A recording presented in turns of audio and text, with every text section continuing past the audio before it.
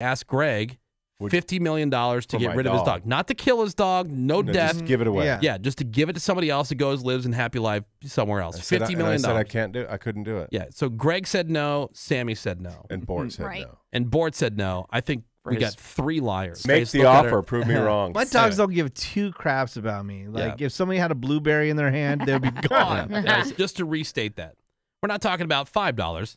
Yeah. Hmm. Fifty This is million this is how it went in circles. Fifty mil. Yes, we because know. I have to believe that maybe you just didn't hear that part where it was fifty. yeah, I didn't hear it four hundred times. But like, like, like Greg said, million. he's betting on the fact Yeah. that you won't have the money ever to show him. so Yeah, he can just say whatever he wants and Yeah. we'll believe him because we're idiots. this is a dog that you love, Yes. and it's basically I like understand that. selling a family member. It is And. I wouldn't do that if I was poor.